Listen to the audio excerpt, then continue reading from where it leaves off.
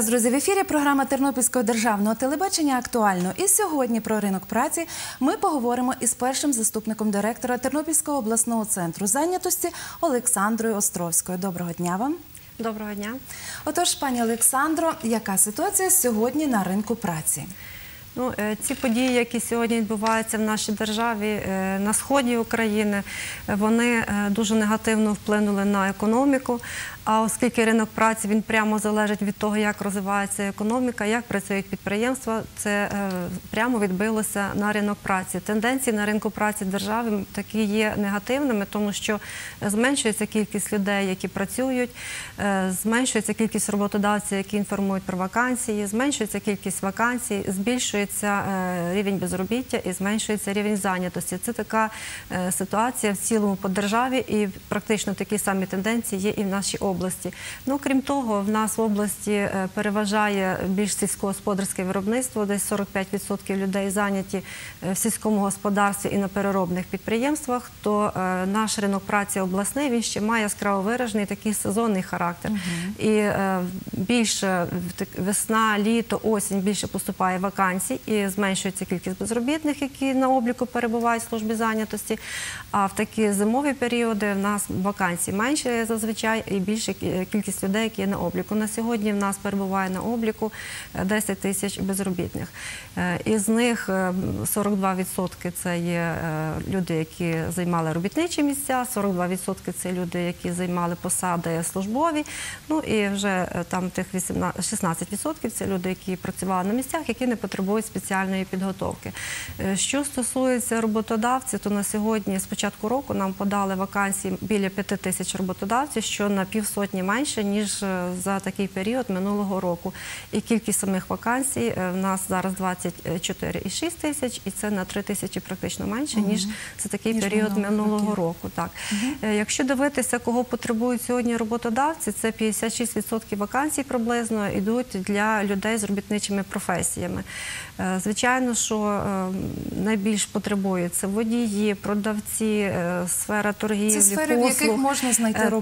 Так, е, м, також трактористи, е, слюсари, столяри, е, працівники будівельних професій це найбільш такі затребувані на сьогодні роботодавцями.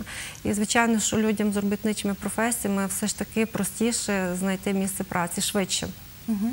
Я гадаю, що особливої уваги потребує питання е, працевлаштування вимушено переселен- переселених людей. Скажіть, будь ласка, як воно вирішується в нашій області?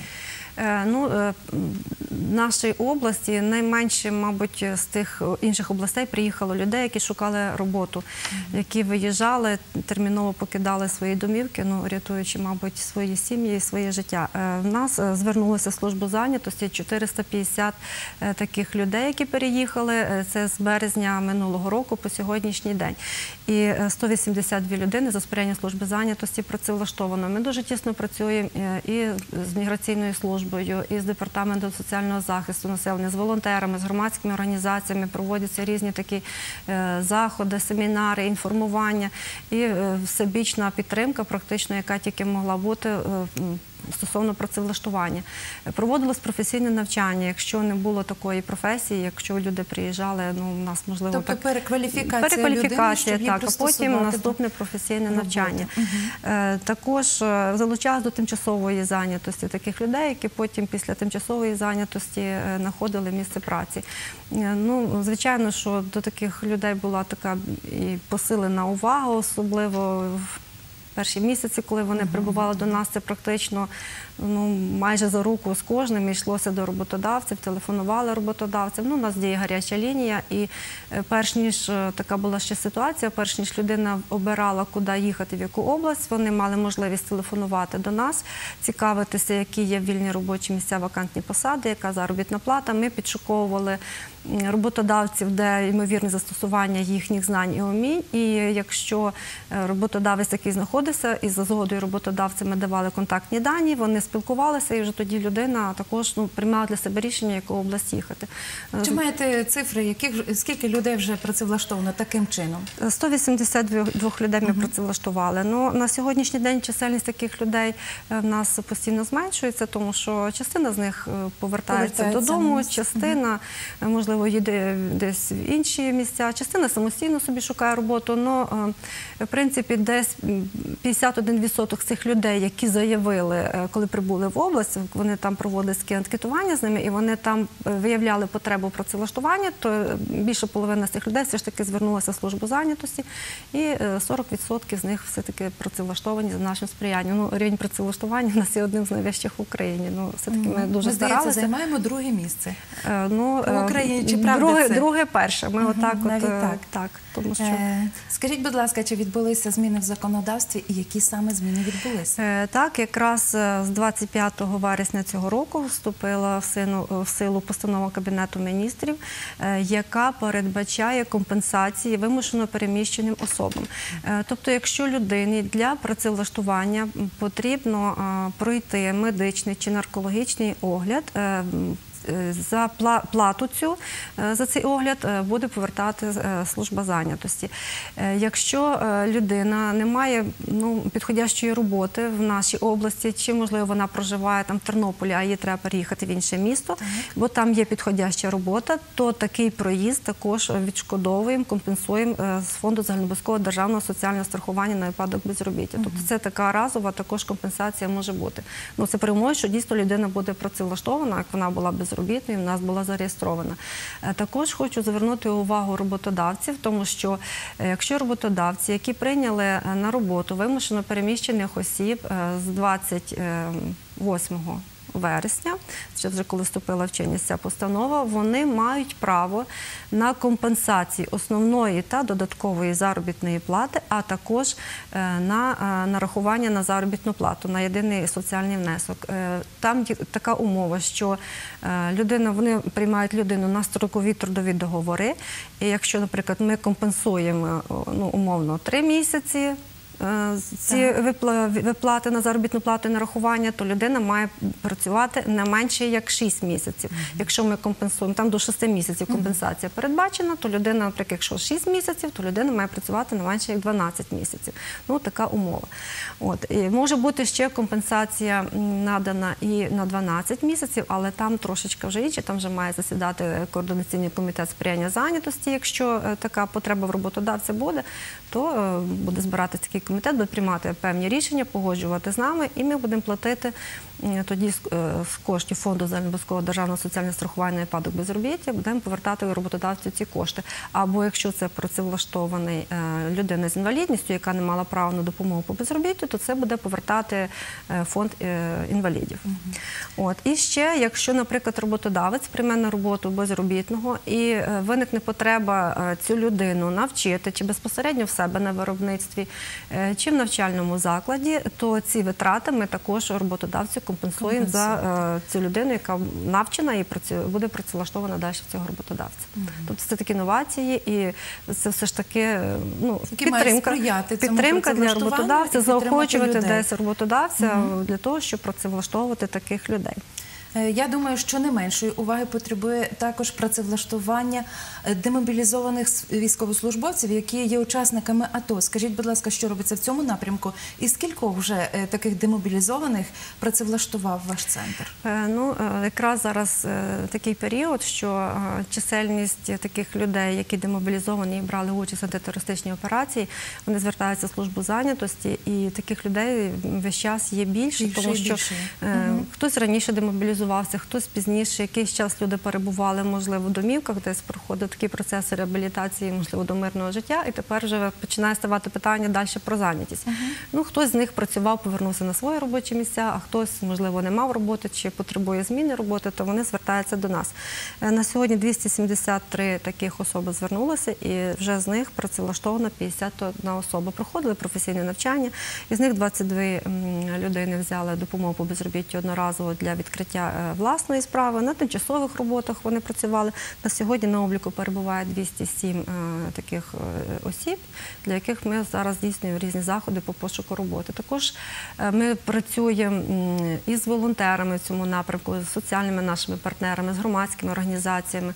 Е, Різні такі е, тренінги з ними проводяться, які сприяють трудовій реабілітації. Тобто, ну е, така дуже пильна увага до цих людей. Е, Ну, взагалі ми стараємося до всіх людей відноситись індивідуально до кожного запиту. Ну тут е, ну, все ж таки ми розуміємо, е, що ці люди пережили, наскільки вони Тобто увага повинна бути ну, ще більшою. Ще більше. І Ми так і спілкуємося з роботодавцями, і ну, все ж таки давали пропозиції до законодавства, щоб також е, за працевлаштування таких людей теж можна було отримати компенсацію. Ну, побачимо, чи врахують наші законодавці наші пропозиції.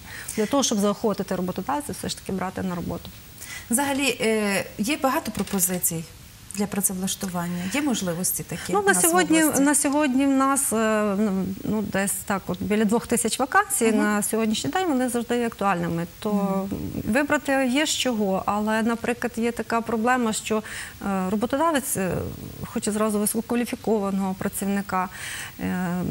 А такого, наприклад, на обліку немає. Тобто, десь людина, можливо, має нижчу кваліфікацію, вимоги роботодавця вищі. Тоді йде співпраця з роботодавцем. Якщо роботодавець погоджується, то він може взяти яка людину, яка не має досвіду, або яка вже давно не працювала якийсь певний період часу за тою професією чи спеціальністю. Може бути стажування на виробництві. Е, Ну, по-перше, для роботодавця це є безкоштовно. е, Він на це кошти не витрачає, тому що ми за кошти фонду це організовуємо. Е, Людина в цей час перебуває в нас на обліку і вона проходить стажування на робочому місці. Вона виконує ці роботи, операції чи процедури, які буде виконувати. Вона адаптовується е, до колективу, в якому буде працювати до тих людей. І ну, це таке найбільш ну, я би сказала, ефективне таке навчання, тому що воно гарантує працевлаштування. Якщо глянути в інтернет і пошукати роботу, то є безліч пропозицій. Е, Все-таки роботу знайти важко, хорошу роботу. Так? Е, Скажіть, будь ласка, які саме фактори можуть ускладнити цей процес працевлаштування, а які навпаки спростити е, і допомогти людині все-таки знайти ту роботу, яку вона хоче? І е, чи має важливе значення сьогодні професійна наша придатність, як то кажуть, і е, професійні навички, які вже здобула людина? Е, Ну, звичайно, е, роботодавець, якщо дає інформацію про вакансії, він ставить певні вимоги. І зазвичай роботодавець хоче і високі кваліфікаційні вимоги, і досвід роботи. Тобто, щоб це був вже готовий такий Готовий фахівець, який вже давав возитися. так, звичайно. І дуже важливо ті умови, які ставить роботодавець, і оплату праці. Якщо ми подивимося про заробітну плату, яку виставляють роботодавці в вакансіях, яку вони пропонують, е, то лише 6% вакансій мають заробітну плату, яка більша від середнього обласного розміру. За е, серпень місяць це було 3110 гривень, а 94% вакансій це є е, мінімальна заробітна плата або від мінімальної до розміру цих 3, 3 тисячі. Е, Якщо дивитися, як люди шукають роботу, людина, коли шукає роботу, вона в першу чергу цікавиться оплатою праці. Е, Потім вже, мабуть, на другому місці е, вона вже дивиться, які е, там вже умови праці. Розумієте? Ну тобто, в першу чергу, все ж таки йде оплата праці. І для того, щоб Все-таки оплата праці це визначальний такий Звичайно, момент. в наш час це дуже визначальний момент, і роботодавці, ну буває, якщо то люди ну, не погоджуються, ми там спілкуємося, і роботодавець тоді вже піднімає там планку тої заробітної плати, все ж таки.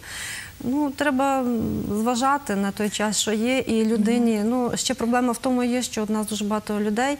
От, наприклад, в міськрайонному центрі зайнятості в нас 74 безробітних, які перебувають на обліку, вони мають одну або дві вищі освіти.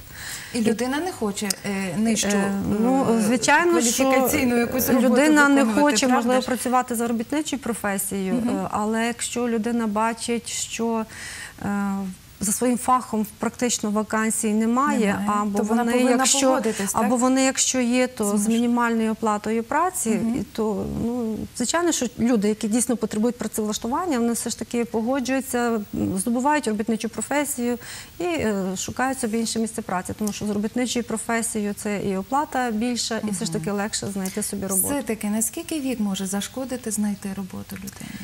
Е, Ну, взагалі, законом про зайнятість населення передбачено, який вступив чинність ще з 1 січня 2013 року, Так. передбачено е, такі ну, штрафні суттєві санкції для рекламодавців, для роботодавців, які ставлять певні вимоги до віку, до статі, е, там до якихось політичних, релігійних переконань і так далі. Ну, єдине, що нема порядку, який би ще для застосування тих санкцій, але е, ну, не можна е, це законом заборонено ставити певні будь-які вимоги. Звичайно, що є е, можливо специфіка професії чи спеціальність, яка вимагає або чоловіка, або жінку.